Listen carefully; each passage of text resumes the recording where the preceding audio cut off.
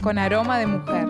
Se deslizan por la cancha del Centro Cultural Alberdi. Desde abril que las pisadas de estas bochófilas llegaron al club para ser las primeras mujeres en practicar allí este deporte.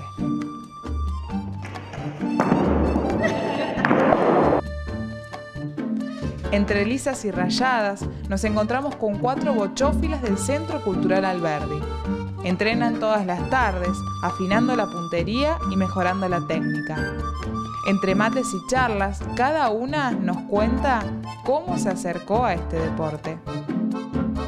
Bueno, con el tema de las bochas empezamos hace bastante tiempo de que éramos niñas porque em, como te comentaba anteriormente, venimos eh, de una familia bochófila donde solamente juegan, jugaban perdón, las mujeres.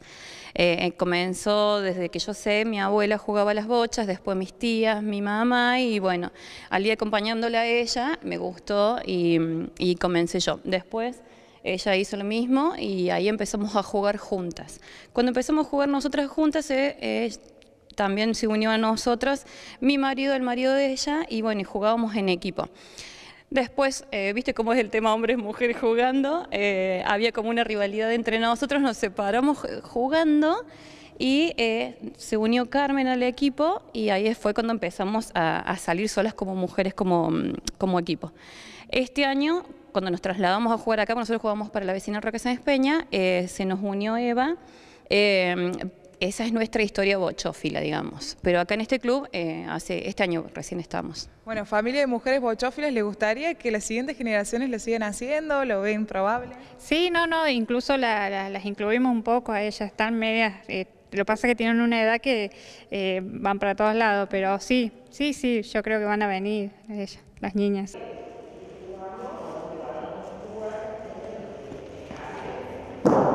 Eh, bueno, yo hace ya más de 20 años que juego.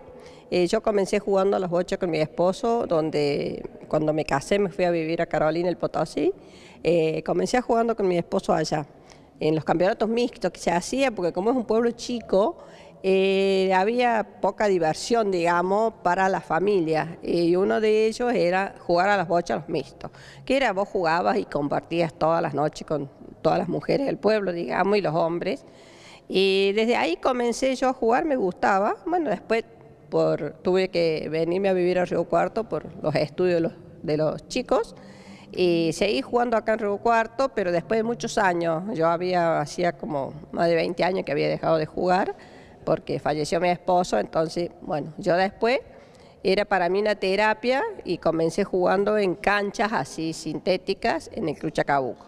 Primero eran de conchilla y después hicieron el piso sintético. Y bueno, y de ahí seguí jugando, después estuve jugando para la vecina Roxa Espeña, después estuve jugando para el Club Maipú. Y este año, bueno, nos vinimos a jugar acá, a este club, porque esos clubes ya directamente nos hacían bocha.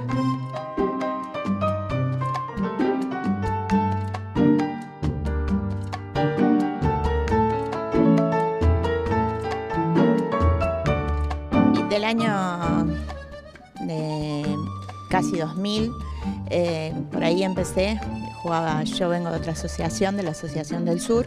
En mi club no había mujeres, así que me integraron entre los hombres.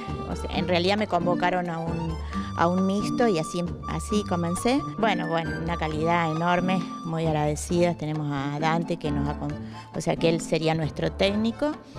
Eh, bien, o sea, y sí me gusta trabajar, eh, o sea, jugar entre mujeres porque es la primera vez que me toca jugar en grupos. ¿Se requiere mucha técnica? Sí, tiene mucho.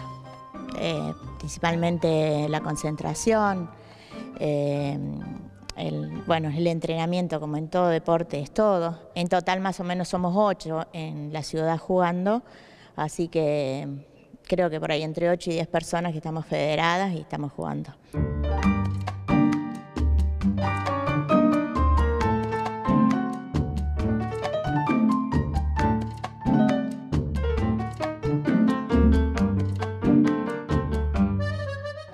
¿Cómo se cuida la bocha? Mira, las bochas las tenés que limpiar. Por ejemplo, en las canchas sintéticas les pasamos una esponja de esas de acero, las que usamos nosotros en la cocina para, para lavar las ollas.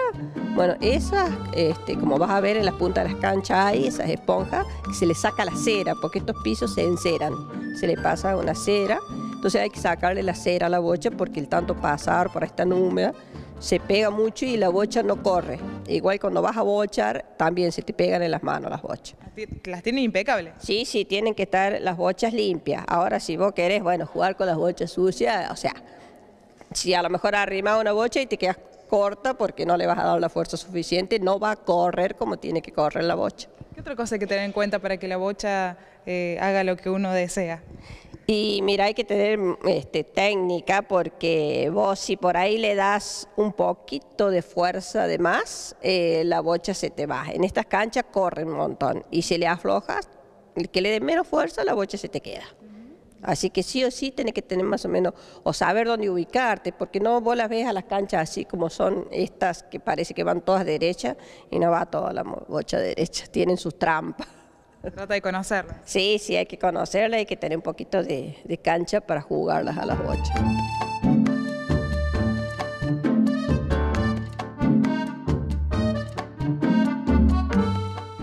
Actualmente, en todo el país, no existe club, por más pequeño que sea, que no posea su canchita propia.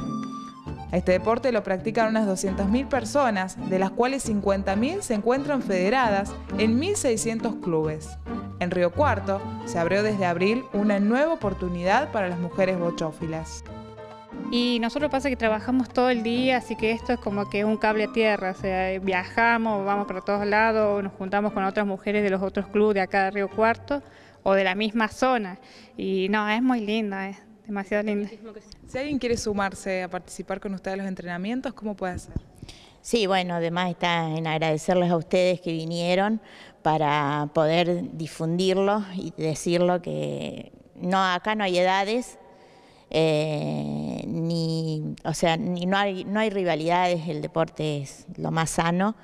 Eh, así que sí, lo importante sería que se sumaran mujeres, niñas, hombres, niños, como lo están haciendo. Acá hay un grupo lindo de chicos, eh, así que la calidad es, enorme.